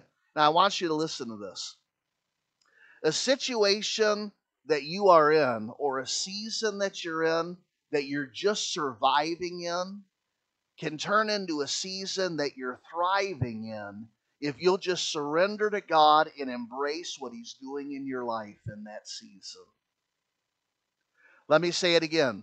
A season that you're just surviving in can turn into a season that you're thriving in if you'll just surrender to the Lord and embrace what He's doing in your life in that season. Can I hear an amen? In fact, I want to give you a little bit of insight here. There have been seasons in my life that I could not stand. In fact, I did everything in my life, everything I could to just survive that season. Does anybody know what I'm talking about? But the problem is when you're in survival mode, you're not in learning mode. You can't be in both. You can't be in both. So there have been seasons that have been horrible, and I'm just trying to survive when God wants to teach me how to flourish and grow in that season. To be like a tree planted by the springs of living water that bears its fruit in due season and doesn't have to fear in times of drought because its roots go deep in the living water. Hallelujah. And its precious leaf doesn't wither. Does that make sense? Lord doesn't tell you what season it's in. you know what season it's in? Every season. That's what God wants you to be. But here's the key. I've found in my life when I've been in seasons that I'm just surviving and trying to get through, if I'll listen to the Holy Spirit and embrace what He's doing in that season, the moment I start embracing it and learning, shoom, He takes me into the next season. It's like, God, if I'd have understood it was that easy, I'd have embraced what you were doing at the beginning of the season, and we could have done this a whole lot quicker. And the Holy Ghost at the throne is going, duh. But the problem is, if I'm just trying to survive it, I can't thrive in it. How many of you are just trying to survive COVID 19 and you're not looking at how to thrive in the Lord during COVID 19? Maybe if we'd all in the church start looking at how we thrive in the season, we'd be shifted out of the season by God quicker. Maybe if we'd all get in the secret place, if we'd all be listening to the Lord, if we'd all be trying to honor Him together as the church, shoom, maybe God's waiting for the church for the curtain to be lifted. Maybe He's not waiting on the governor. Come on. Uh, think about it now. You know, I love it. Sometimes God will offend our mind to get to our heart. May He do so with that statement. Amen. And that's not in my notes. That's just something the Holy Spirit just said. Amen. So I'm convinced in our walk with the Lord that success is looking at what's right in front of us and doing it wholeheartedly. You know, right now in the season, 40 plus hours a week, God has me as the senior manager of human resources at Bergstrom. Do you know what God's heart for me is? Every single day that I'm at work to do that job wholeheartedly. Because God has me in that job, He has placed me there. Come on now. And I need to do exactly what God is telling me to do in this job in this season. Can I hear an amen? What's your job in this season? Are you doing it wholeheartedly or are you longing for something else to the point that you're not engaged in what God wants you to be engaged in in this season and you're missing it? You're saying, Pastor Andrew, it's as easy as you being the best senior manager of human resources you can be at Bergstrom in this season? Yeah, that's part of it. And it's part also part of it's in this extra time to be getting with the Lord more than ever before. And during this time to be spending more time with my family than ever before. And to get the vision for the next season for this church. And God's been doing that too. And I've been giving that to our servant leadership team. I think it's much more simple than what we make it to be. Build the section of the wall that's in front of you in this season. How many are receiving that in the Lord? Amen. All right. So, step number one is build the season of the wall or the section of the wall that's in front of you during this season. Step number two, if you want to learn how to thrive in every season, don't rush the process. If you're a note taker, point number two, don't rush the process. See, being out of season is a dangerous thing. Skipping steps in a season is a dangerous thing. Staying in the process, going through each step, is going to give you the strength that you need to sustain you and keep you and release you into what God has for you in the season. So we've got to stop thinking when God brings us into a season that we can just jump into another. Now, I'm going to say this in love. We've had folks in this church before that God, you know, God will take us individually through a season and corporately through a season. So we've got to understand that. There's individual seasons and corporate seasons. And there'll be seasons where God was taking us through things as a church corporately and people didn't like it, and they'd leave the church to go to another church that's in a season they like. Well, guess what? They were at that other church until God brought that church into the season that we were in when they left this church to go there. And guess what they did in that season at their new church? They left and went to another church that was in a season that they liked. Here's the thing you can run, but God is going to get you in the season that He wants you in when He wants you in it. A change of scenery doesn't change the season. I've had folks that have said to me in ministry, Oh, Pastor, my dream is to move to Missouri. My dream's to move to Colorado. My dream is to move to Arizona. My dream is to move here, here, and there. Okay, well, why do you want to move there? Oh, because it's so much better there. It's so much better there. Yeah, the weather's better, the jobs are better, this is better, that's there, that's better. They don't want to ask me if God's saying if they should move or not. So then they move, and you know how many of them I've seen come back? The vast majority. Why? Because wherever you are, there you are. And if you're leaving Illinois because you don't like the season God has you in, you'll find yourself in that same season no matter where you relocate because He's the God of the ordained seasons. He ordains the time and seasons in your life. You are going to go through those seasons no matter how much you fight and you kick against the goats, no matter how childlike you act or how, what kind of tantrum you throw. God loves you enough to know what He wants to you wants to do in you in this season is more important than your complaining. So he's going to keep you in that season because what he wants to teach you in the season is so invaluable for you in the next seasons that are going to come. I think sometimes the seasons are elongated because we try to get out of them. And so we have to stay in that season longer than we should. But if we would realize that in this season, I just need to look at the wall that's in front of me and build that section of the wall, that everything would be great, even when it's not. So here's my suggestion for you today be okay with the process and be okay with the timing of God. How many know that Joseph couldn't leave Potiphar's house and go right into the court of Pharaoh and interpret his dream? He wasn't ready yet. Did he feel ready? You bet he did. Did God know that he wasn't ready? Absolutely. So, what happened to him? Something that was completely unfair. He would not do anything to take advantage of Potiphar. Potiphar's wife looks at him, wants to spend time with him, wants to seduce him. She's walking in the spirit of Jezebel. She sends everybody out one day. It's just her and Joseph. She grabs a hold of him and says, Now is the time. He does the godly thing. He runs. She grabs a hold of his cloak. Here's the second cloak that gets him into trouble. First one is the cloak of many colors. Brothers hated him because of it. Those cloaks were given to the virgin daughters of Israel, interestingly enough, king's daughters usually. But his dad makes him one. Okay. Second cloak was the one he ran out of and she held on to. Boy, isn't that interesting? I'm going to argue today both cloaks were part of the seasons he was in.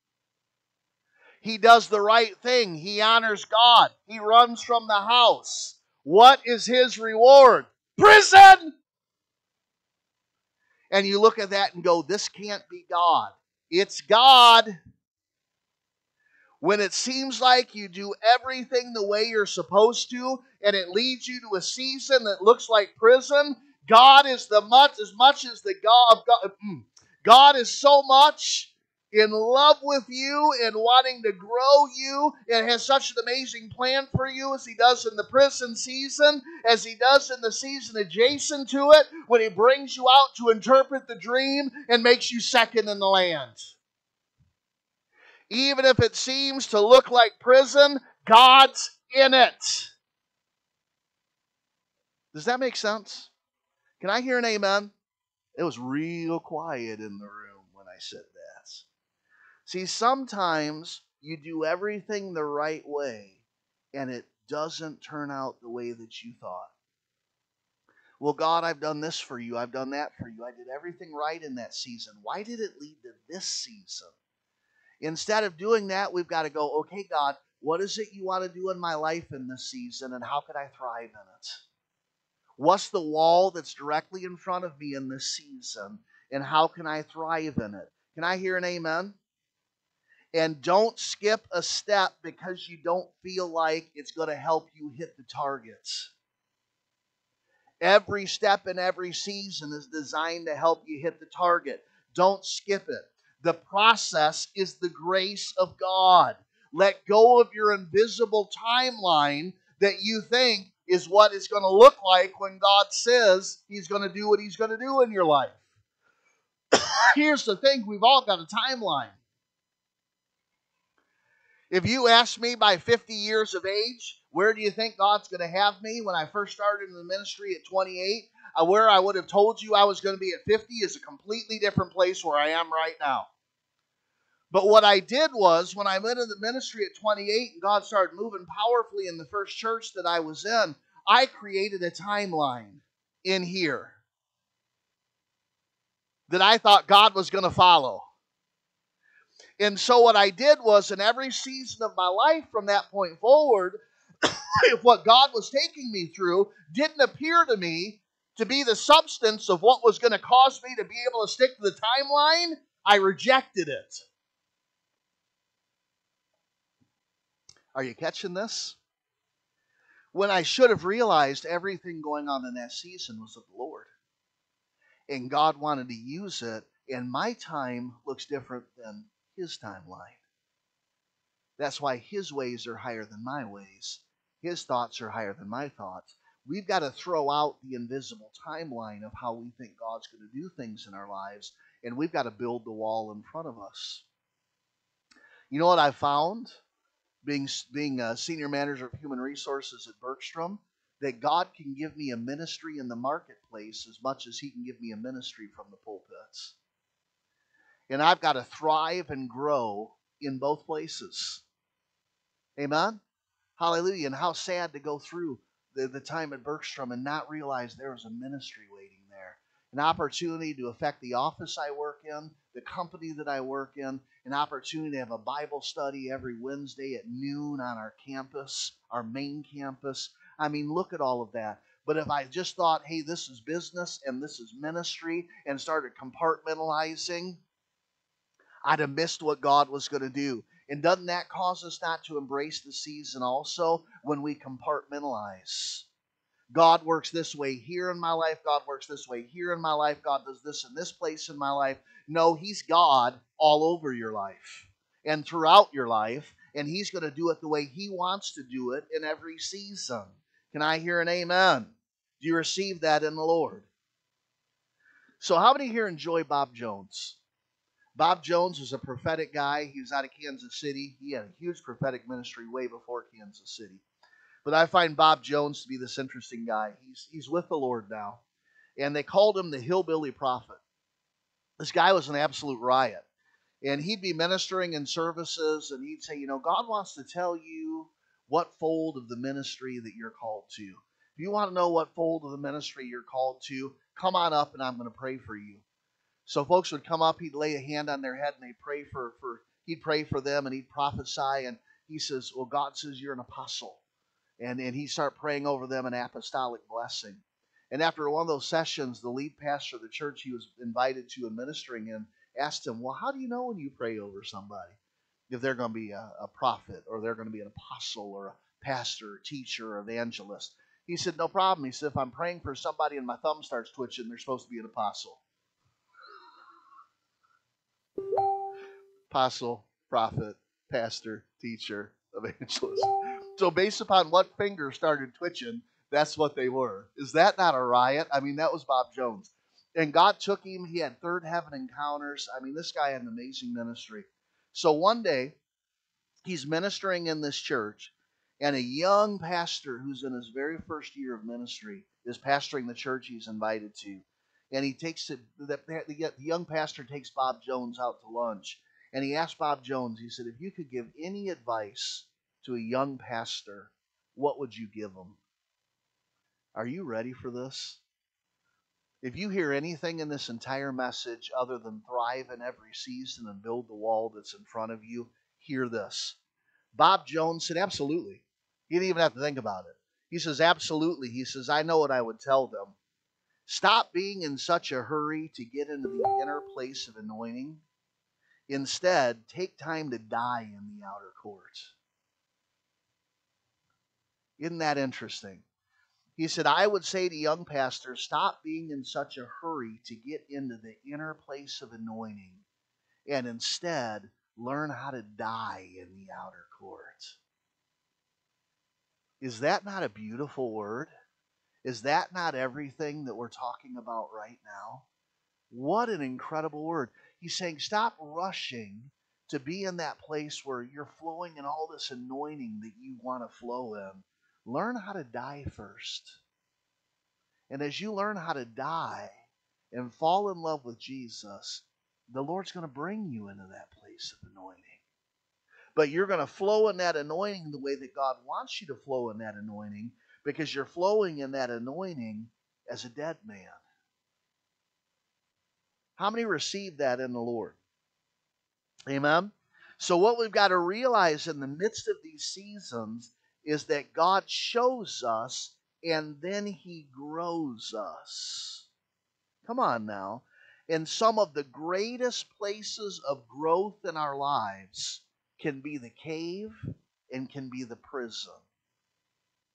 You want to know some of the places where some of the events that David was in where he wrote the most beautiful Psalms?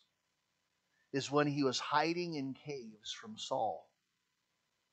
If you study these Psalms and when he wrote them, some of the most beautiful Psalms came when he was hiding in caves. In fact, he was hiding in one cave, and Saul comes in to go use the restroom. Saul doesn't realize that David and his men are in the back side of the cave. He's in the front side of the cave, and he doesn't have any of his bodyguards with. David's mighty men know it.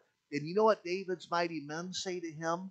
David, now it's time for you to seize your prophetic destiny.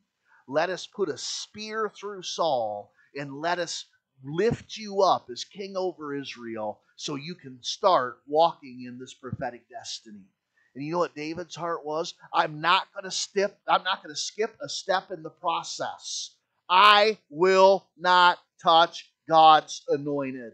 Why do you think so many times he had an opportunity to kill Saul and his mighty men were ready to take Saul out? They could have just like that. And David said, I will not touch God's anointed. That translated in Hebrew is this I will not skip the season I'm in. Because if David had let his mighty men take Saul out, he'd have missed several seasons where God was establishing things in him that he was going to need once he was anointed king. And if you think in order to get into your prophetic destiny in the Lord, you've got to kill a spiritual father, it's not of the Lord if you've got to step on your spiritual father or mentor or tear somebody out of a position for you to get to where you think God has for you, I question whether that's God. Because if you're doing it God's way in the right season, God will move that person and God will move you. And you will not have to touch God's anointed.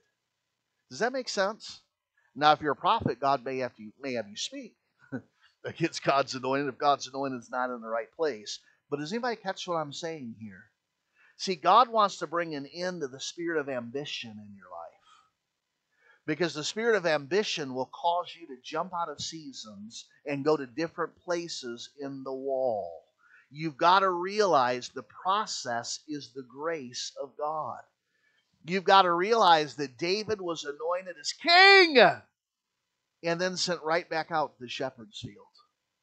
David killed Goliath and then was sent back home. See, is anybody catching this? See, we've got to be willing to stay in the season that God wants us in. Joseph loved it when he's prophesying the sun, moon, and the stars are going to bow down to me. And my father and, and my, my, my brothers are going to bow down to me. He loved that prophecy, didn't he? And if he could, he'd have stepped right into that thing. But he'd have been a 17 year old spoiled brat leader and it would have been an absolute disaster. The young man at 17 who prophesied the will of God through dreams and visions was the same young man that at 30 years of age stood broken before Pharaoh, willing to let Jehovah just flow through him any way Jehovah wanted to. And once he was in that place of dying, God promoted him. And if you look at what God did, God used him to save his entire family and God used him to preserve the line of Christ. He longed to go back to Israel, but we don't see that he ever did, except when his dad died, that he was back in Israel briefly in order to bury him. He died in Egypt, but you know what he said? He said, One of these days, my people are going to come up out of Egypt. Take those dry bones, my dry bones, with you. And you know Israel carried those dry bones around for 40 years.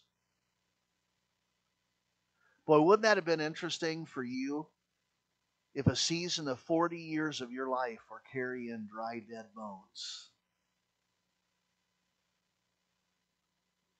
They didn't bury him until they conquered the promised land.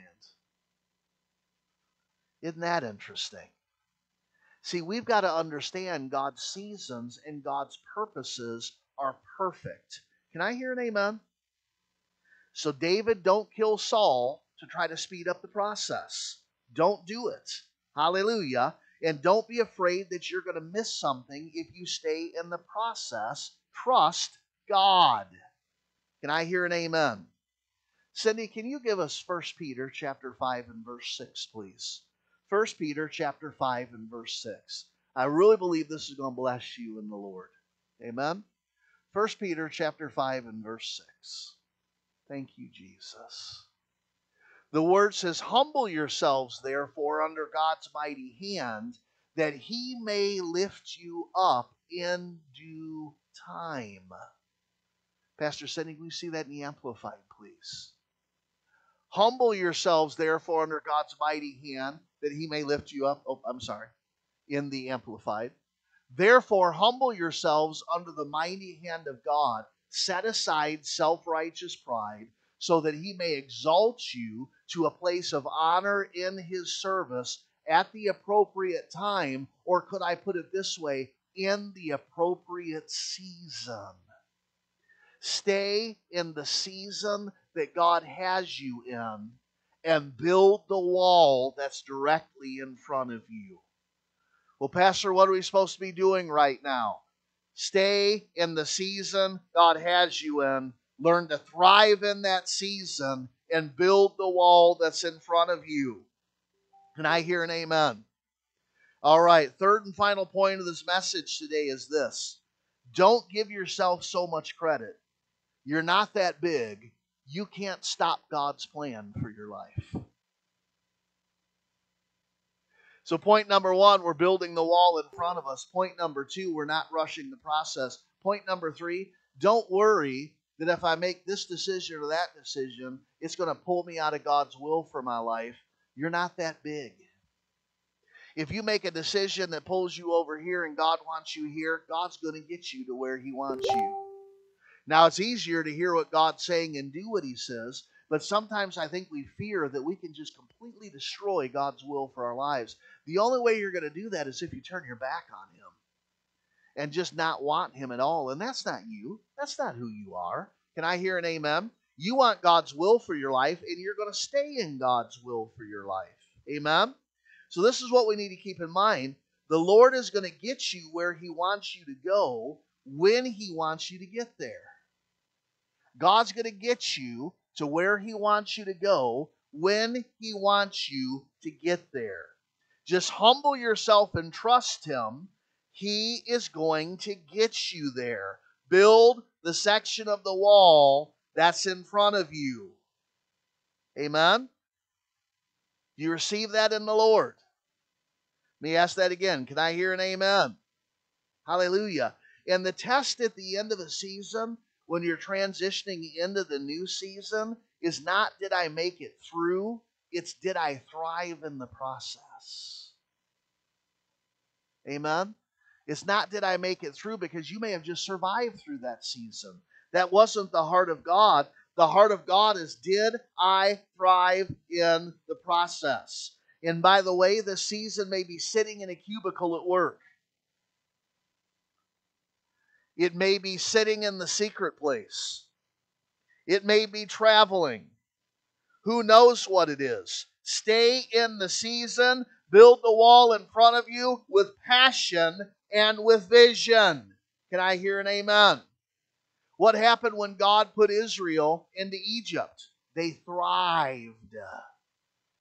What happened to the number of Israelites when God put them in Egypt? Exponentially exploded to where there was more Israelites than there was Egyptians, and there was only roughly 17 Israelites that went down. Wasn't that interesting? And God sticks them in the best land there, and they multiply. Can I hear an amen? Do you receive that in the Lord? When God put Israel into Babylon, they thrived.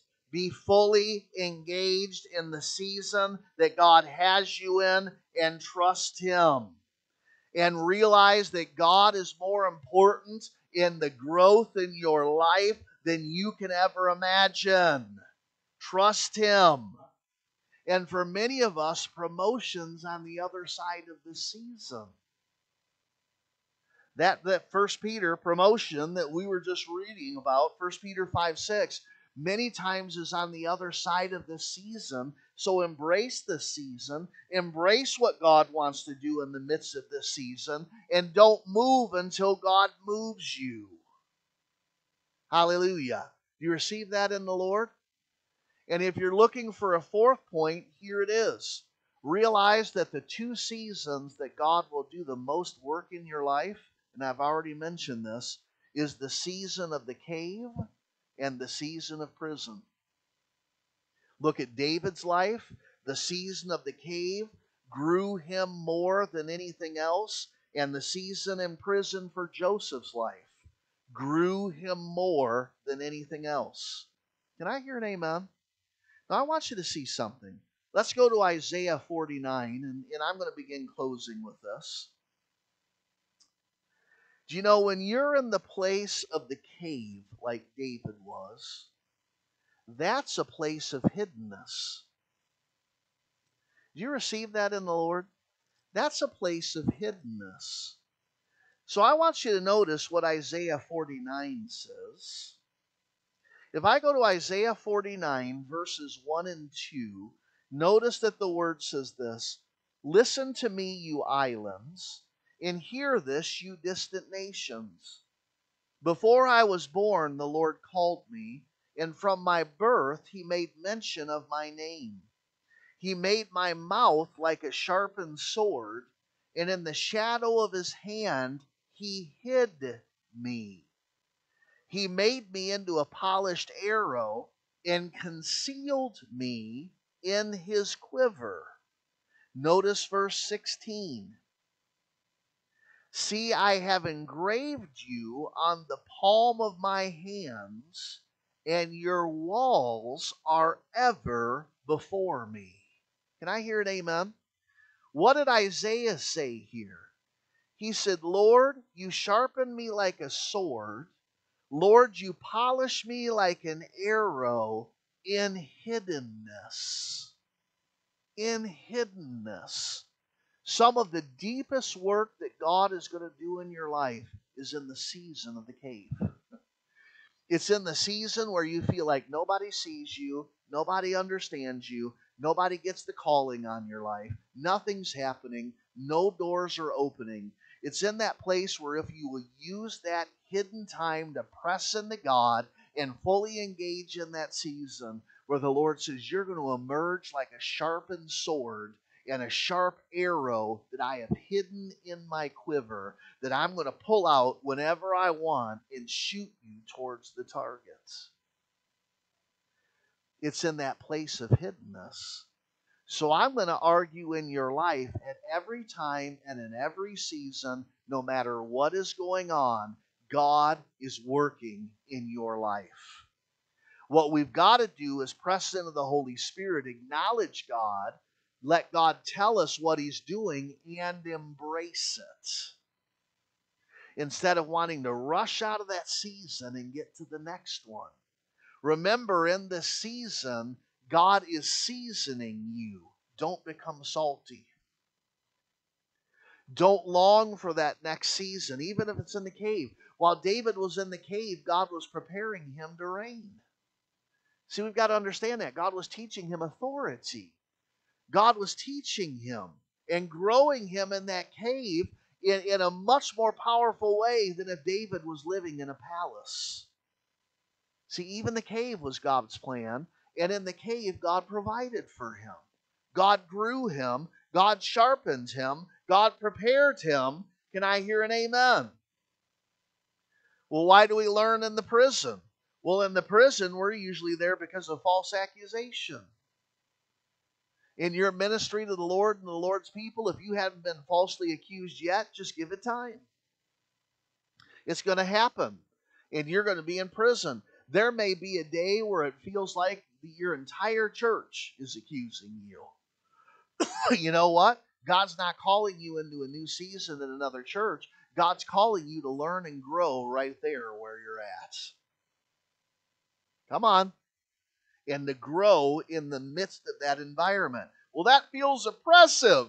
Yep, just ask the diamond how oppressed it felt.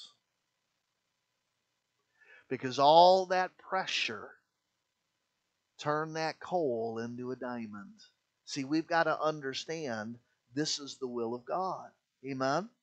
And by the way, Jesus said, if you're going to serve me, if you're going to follow me, men are going to hate you. They're going to talk about you. They're going to persecute you. They're going to say all manner of things against you. When that begins to happen, we've got to stop going, oh, this is a terrible season, and go, ooh, I'm getting a chance to be Christ like. This is so good. Holy Spirit, what do you want to teach me in this season? Don't try to survive it. Okay, I'm just going to hold on to Jesus and get through this season. No, how about listening to Jesus, finding out the wall that's in front of you in this season, and building the wall? Amen? Hallelujah. And Lord, I'm going to stay in this season until you tell me that I'm done. Until you move me on, I will stay engaged. I will stay focused. I will build the wall in front of me. I will thrive in this season, God. Or everything seems to say to me, there's nothing to thrive in. God, you have provided a way for me to thrive in this season. The world puts it this way when life hands you lemons, make lemonade. What's God saying? In the midst of the season that you don't like and you don't enjoy, look at what I'm doing in your life in this season. And understand that when you stand before me and I connect all the dots, that season was crucial in your development for me to move you into the next. Amen. Hallelujah. We got to see this for what it is in the Lord. This is the word that God gave me for today. And and he gave it to me through something he had me listen to and then just God just started exploding and talking to me about how this word applies for us in this body and, and for the body of Christ right now. We've got to understand COVID 19 is not something being forced on us. We've got to realize it's something God saw coming so he wants you to ask him, How can I thrive in this season? God, what is the wall you've put in front of me to build in this season? I love it. If you study further in the book of Nehemiah, a season came where there are these three individuals in Nehemiah's life that came against him. And throughout the entire rebuilding of the wall, all three of these guys kept coming and coming and coming to distract him and deter him and, and to try to get him from rebuilding the wall, but he kept going. And at one phase in the rebuilding, he was told that they were putting an army together to come in and stop the building. So, you know what he did? He told the people rebuilding the wall, he said, Have a brick in one hand and a sword in the other. Have a brick in one hand and a sword in the other to build into war, to build into war, to build into war. A lot of times in these seasons that are difficult, keep building the wall, but keep speaking the word of God throughout the entire process. Keep wielding that Rhema sword and speaking over this season. This season may be difficult, but he who began the good work in me will see it through to completion. You keep speaking the word of God in the midst of that season and look for the silver lining in the midst of the gray cloud because God is using that season to grow you. Stay in it.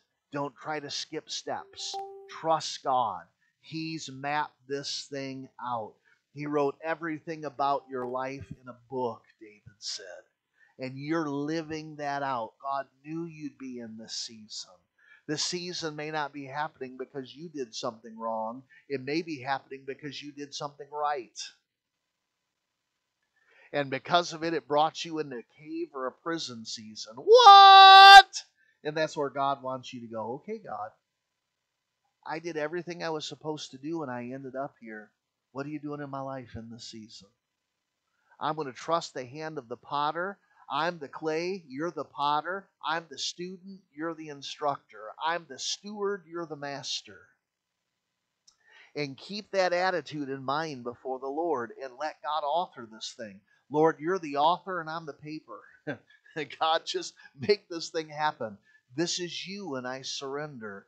And if you'll do that, you'll thrive in every season that He puts you in. Can I hear an amen? Hallelujah. Let's pray. Lord Jesus, I just thank you for everybody that is in the sanctuary right now. And God, I thank you for everybody who's going to hear this message, Lord, and is hearing it via our live broadcast. Lord, I ask that you will take this message and burn it upon the hearts of both groups. Lord, I ask that you will take this message and make sure that it gets to those that are crying out in the midst of this season and believing, God, that nothing can, good can come out of it. God may give them the revelation that you ordain the times and the seasons, and that you want to use this season in their life to do great things. Lord, I thank you that you've given each of us a section of the wall to rebuild. Lord, help us in every season focus on that section of the wall and to rebuild it. And Lord, for each and every one of us, may you be the, mm, the wall of fire about us and the glory within us. God, I thank you for the season that we're in right now. We can either see it as dark and distant and separated and disjointed and difficult, or we can see it as a time to press deeper into you, to spend more time with family, to witness, to minister, Lord, to share you with others because there's so many questions out there. God, I ask that you will help us mm, thrive in the midst of this season. Lord, I pray now over this word, may it not return to you void, but may it accomplish its purpose. And Lord Jesus, I ask this in your name knowing that there's no other name under heaven given to men by which they can be saved but the name of Jesus. Knowing, Lord, you're the way, the truth, and the life, and no one comes to the Father but by you. Jesus! We pray these things in your name today. And everybody said, Amen. So I want to thank you for coming today. I want to thank you for tuning in today. And I pray that this is a word that is going to mess with you that this is a word that's going to grow you, that this is a word that God is going to use in a powerful, powerful way. So I just pray that and, and just pray that God will bless you this week and amazing things will happen. Let's surrender to the Lord and thrive in the season, believing as we do as the church, God will bring an end to this season and bring us into the next as we've learned everything that God wants us to learn. So thank you thank you for uh, for being a part of our service today. I do want to remind everybody we've had some folks ask us, hey, if we listen in online and we're in Rockford or some other city and we want to be able to, to bless the refuge, is there a way to do it? Uh, if you're wanting to, if you go to our church website, therefugeweb.org, if you go to the bottom of the first page, there's a safe donation button there if anyone wants to use it. Um, we love you and bless you whether you ever give anything to this ministry or not. We just love you and we're so glad that you're tuning in. Uh, but some have asked, and so we just want to let you know that that's available. I want to encourage you this afternoon. Ask the Lord, God, what are you trying to teach me in this season? What is the wall that's in front of me? How do you want it built? How can I thrive in this season? And if you will, God's really going to bless you. He's going to speak to you. He said in Jeremiah 33 3, He said, Call upon me and I'll answer you and I'll show you great and mighty things that you don't know. So, with that said, God bless you. May God keep you.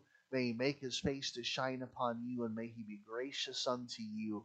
May He turn His countenance towards you and fill you with shalom peace, nothing missing, nothing broken.